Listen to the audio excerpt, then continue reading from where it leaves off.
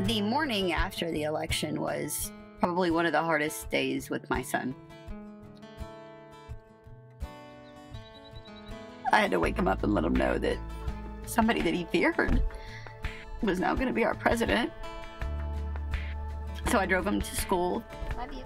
I told him he needed to keep his mouth shut because there was going to be um, people who were going to be very happy and that I didn't want anything to happen to him. Got home and I got a Snapchat from him.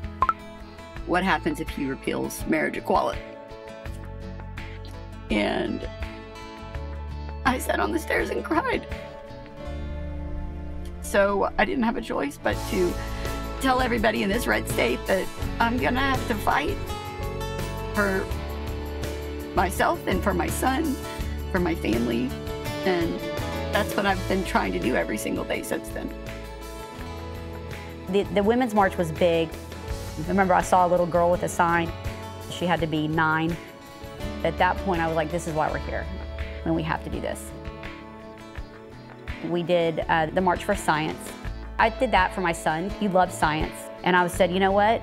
If he's going to come out here and march for me, I need to get out there and march for him. I've gone to see both of the people running for Senate in my state, Beto and Cruz. I'm the person who gets the tax cuts.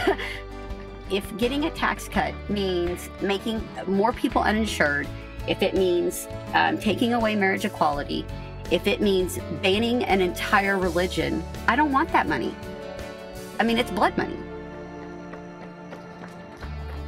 I'm more vocal than I think my husband would like me to be about it. I think that both of us feel like our vote matters more now than it ever did in the past. Because are we voting for our family or are we voting against our family? It all boils down to kindness.